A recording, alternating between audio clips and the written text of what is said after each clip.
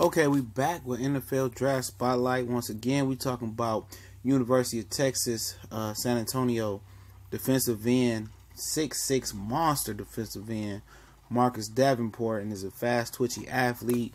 Recorded a four six and a four five nine at the NFL Draft Combine. 22 bench presses, 225, so strength, you know, maybe a little bit of improvement. And um, you know, somebody asked me to do this on him. I wasn't even aware of him. I I, I wasn't able to really get entrenched into the draft so far like I want to uh, because of my work schedule.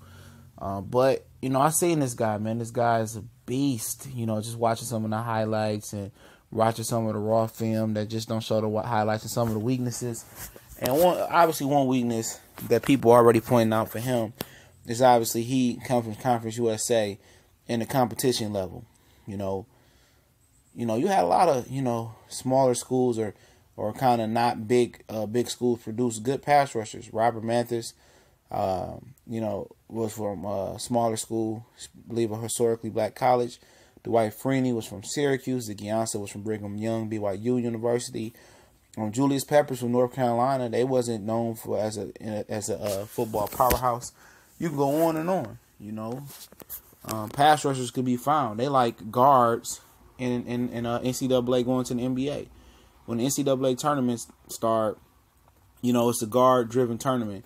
And you see all these uh, guards from these smaller schools just taking over because you can you can find great guard play anywhere. You know, same thing for the NFL. You can find great pass rushing anywhere. Sometimes, you know, a lot of guys don't succeed in college because of the system. And the NFL coaching is a little bit better sometimes. And they coach them up and they put them in a better position to succeed. And some guys just take off and hit the ground running. You know, uh, we talked about a few pass rushers already. And Marcus Davenport may be end up being the star this draft. Um, six six with two sixty, run a four five, four six. I mean, shoot, you know, you put him next to Ziggy, they both genetically damn near the same. Davenport is, is a little bit more explosive. Obviously, Ziggy probably gonna be stronger this at this point in his career because he's a little bit older, bone density. He been in the league getting his weight up. And you give him, you know, Ziggy Ansah another monster on the side of him with Ansah, well not with Ansah, but A'Shawn Robinson, Sylvester Williams, and you can get Reese Hurst in the in the third round. In the second round, I mean, you just upgraded your defensive line big time, and that's what the Lions do. That's their number one weakness. You know, you know, is amongst their defense. Their number one weak, weakness when their offense is running. If it comes down to Derrius Guice um, or Marcus Davenport, at this point, I got to get the pass rusher.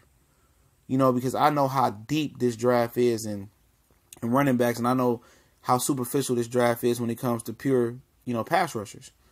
And you know, if you can mold Davenport like you did Ziggy Ansah, and you could just build them up and they can book in together, that's gonna be nasty. You get your Maurice Hurst in the middle in the second round. You get your running back third, fourth, Chubbs, you know, Sony Michel, you know, Royce from Oregon, Rashaad Penny. I mean, shit. I'm just telling you guys, excuse my language, how deep this draft is at running back. Defensive end, eh, it's a lot of edge rushers. You know, it's a lot of edge rushers. You know, tall, linky guys. You know, they can set the edge or convert speed into power and be situational pass rushers can drop a little bit more three four you know type pass rushers. Ain't too many defensive ends, man, like him.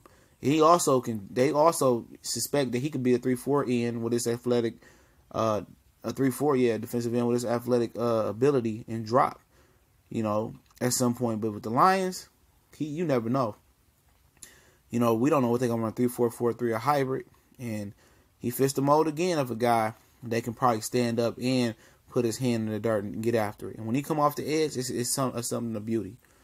Especially when he started learning counters and, and other defensive move and get his hand placement, get his pad level at the right, uh, right at the right, uh, at the right height, and all that stuff, and get that NFL coaching. They're gonna build him up like Ziggy. It's just if he gonna be healthy, get stronger, and uh, you know, just get the experience. If the Lions are able to get him, I think this is the steal of the draft at 20.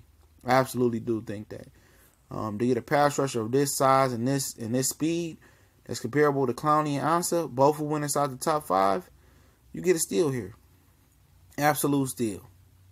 And it can happen because you have so many quarterbacks that really aren't first round quarterbacks. There's no real first round quarterback this year, but it's a demand for the quarterback. Rosen, Mayfield, you know, uh, Allen, you know, Sam, Sam Darnold, you know, uh, you know, uh, Lamar Jackson, you know, about five or six quarterbacks gonna take up the first round.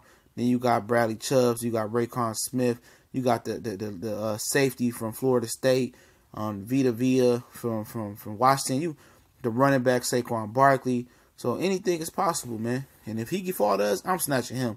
He my favorite prospect so far that I've uncovered. You know, other than um, if I did Saquon Barkley, I don't think I I think I did a video, but I didn't do an NFL draft spotlight on him. But go check out Marcus Davenport and his highlight video on his raw film. It's a thing of beauty. We gone.